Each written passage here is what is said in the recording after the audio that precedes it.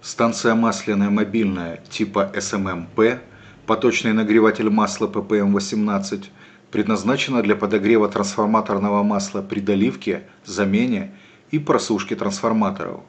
Установка пригодна для нагрева минерального, индустриального, турбинного и других масел, а также жидкостей, не вызывающих коррозии материалов, из которых изготовлен нагреватель. Установка может применяться на предприятиях, занимающихся ремонтом и обслуживанием трансформаторных установок, на электростанциях и масляных хозяйствах. Установка предназначена для эксплуатации как в помещении, так и на открытых площадках под навесом. Установка представляет собой оборудование, выполненное в рамном варианте, на которой размещены все узлы и агрегаты. Установка состоит из сварной рамы.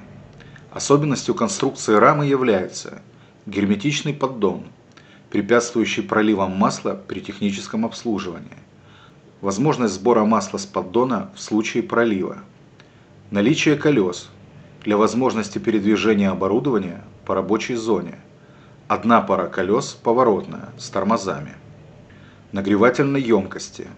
Особенностью конструкции нагревательной емкости является использование трубчатых нагревателей ТЭН, позволяющих осуществить нагрев различных жидкостей и эмульсий с различным содержанием воды – Термоизоляция емкости, позволяющая снизить потери тепла во время работы. Наличие сливного крана. Вертикальное расположение нагревательных элементов, позволяющих при их замене исключить разливы масла в нагревателе. Наличие дренажного крана для напуска и выпуска воздуха с нагревательной емкости. Кожуха. Особенностью конструкции кожуха является простота доступа к контактным шпилькам нагревательных элементов – при проведении технического обслуживания, отвод излишка тепла с контактных шпилек во время работы нагревателей, насосного агрегата.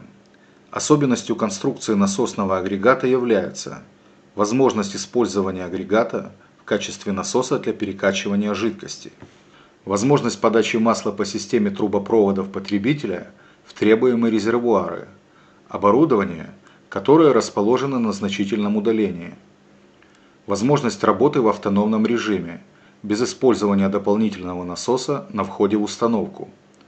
Защита от превышения давления в системе с помощью клапана предельного давления.